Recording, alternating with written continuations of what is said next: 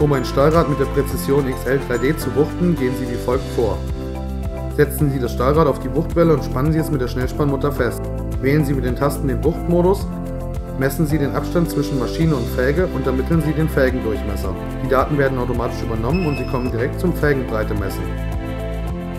Führen Sie den Messstab an die Felge, auch diese Daten werden automatisch übernommen.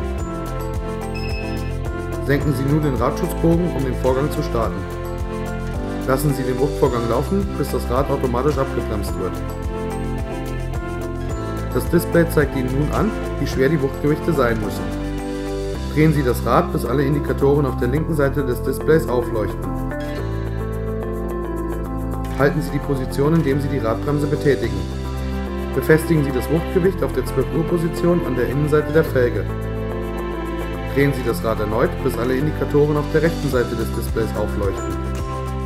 Halten Sie die Position mit der Bremse und befestigen Sie das Wuchtgewicht auf der 12 Uhr Position an der Außenseite der Felge. Senken Sie den Radschutzbogen erneut, um einen Wuchtvorgang zur Kontrolle zu starten.